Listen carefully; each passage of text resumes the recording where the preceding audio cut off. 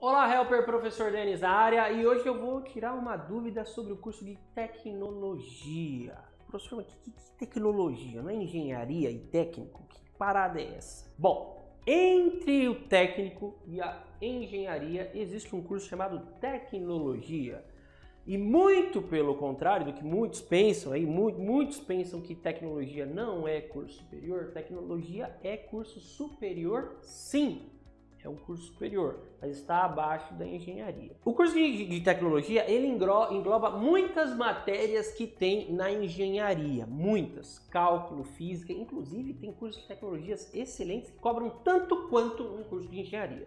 Tá? Eu já tive alunos de curso de tecnologia que parte de cálculo era muito mais puxado do que alguns cursos de engenharia. Tá? Só que ele é um curso reduzido, né? Ele é um curso de menor carga horária, de menor tempo. Então, se a engenharia são cinco anos, a tecnologia vai ser 3, ok? O que você pode fazer, né? Como uma aluna perguntou, professor, você acha que é, é melhor fazer tecnólogo antes da engenharia, né? Quem, quem se forma em tecnologia é um tecnólogo.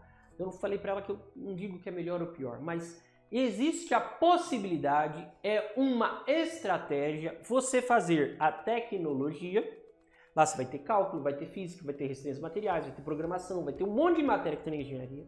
Você fez três anos de tecnologia, adquiriu um diploma de curso superior, certo? Conseguiu trabalhar na área, coisa e tal, e aí você se inscreve no curso de engenharia. Se inscreveu no curso de engenharia, você leva o seu diploma lá e fala e aí essa nova fac, essa faculdade de engenharia vai eliminar um bocado de matérias suas. Um bocado, várias matérias. Pô, você fez cálculo 1, aqui também tem cálculo 1, é a mesma carga horária, é a mesma carga horária, então elimina, você não precisa fazer aqui. A cálculo 2 não precisa fazer também. A física também não precisa fazer. Resmate também não precisa fazer.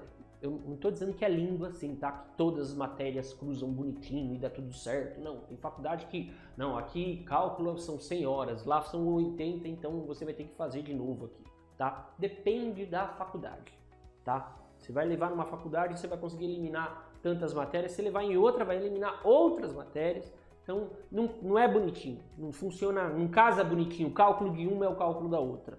A mesma carga horária, a mesma coisa, não casa bonitinho. Mas você vai conseguir eliminar um monte de matérias, um monte. E aí o curso de engenharia, que é 5 anos, você vai conseguir finalizar ele em 3, em 2, dependendo da quantidade de matérias que você decidir conseguiu eliminar. Então, veja só a sequência. Fiz o curso de tecnólogo em três anos, peguei um diploma de ensino superior, fui para a faculdade de engenharia, levei esse diploma lá, eliminei um monte de matérias, tá? Eliminei, na verdade você não leva o diploma, você leva o...